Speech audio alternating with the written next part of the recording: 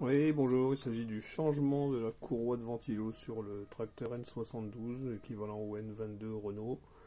Donc voilà, après avoir démonté bien sûr euh, le cache qui vient devant pour euh, diriger l'air vers les cylindres, il s'agit de desserrer ce qui tient, ce qui maintient la courroie en tension. Donc c'est un petit écrou qui se trouve ici.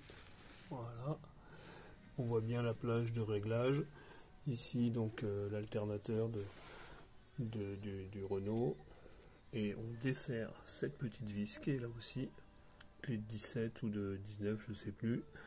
Donc là on peut pousser, pousser fort sur le sur l'alternateur, ça détend la courroie, on peut donc la changer, la courroie qui est facile à trouver sur internet, honnêtement pas de complications là-dessus. Moi j'avais simplement démonté ma vieille courroie et mesuré sa longueur.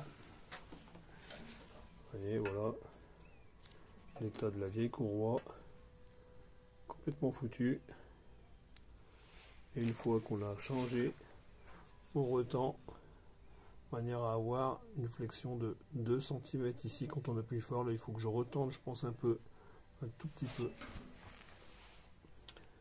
Voilà pour le changement de la courroie de ventilo